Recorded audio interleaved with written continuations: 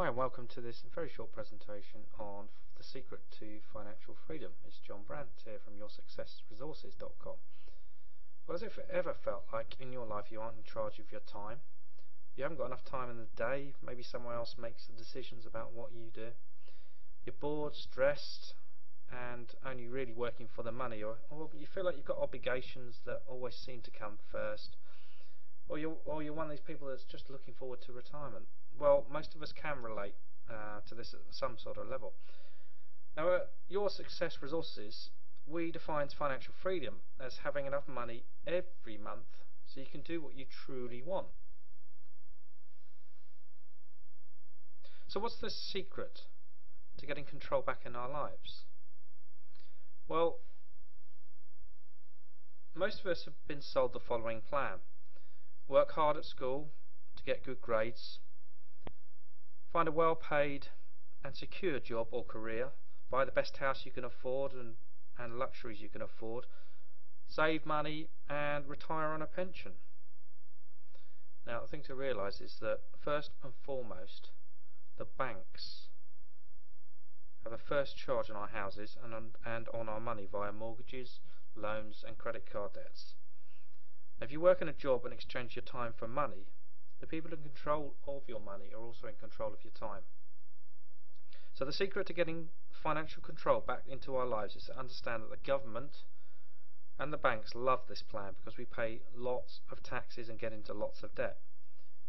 So in other words, the system works just fine as it is.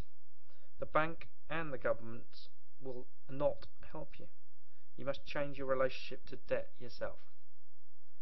To help illustrate what I'm saying, a few years back before credit crunch time, my wife and I went to the bank to ask for a remortgage on our house.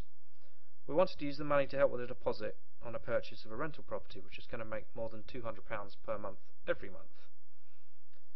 What we told them, when we told them we wanted to uh, use the money as a deposit on a buy-to-let house, they turned us down flat. They confirmed that they would authorise the remortgage, but only if we were going to make home improvements, purchase a car, or go on holiday. Now, the lesson there, very clearly for me, was that it's not in the bank's interest for you, or us, or me to get out of debt unless we are, unless we are really are old and can no longer work for them. Now, one of the key things that you need to understand if you are going to become financially free is the difference between good debt and bad debt. Now, some of you may have read Robert Kiyosaki's great book, Rich Dad, Poor Dad, Poor Dad which explains some of the simple differences between good and bad debt. Now, the best way I can explain good and bad debt is that good debt is debt that makes you money every month. Bad debt is debt that costs you money every month. So bad debt is created through purchasing things that don't make you any money. Good debt is using other people's money to make you money. Or in other words, good debt actually moves us towards financial freedom and bad debt moves us away from financial freedom. And using this definition, although you might benefit from some capital gains on your own house, on the mortgage on your house, actually mortgages on a house is bad debt. So, to conclude, it's not your boss you need to tackle first if you want to become financially free, it's your relationship with money and debt and the banks.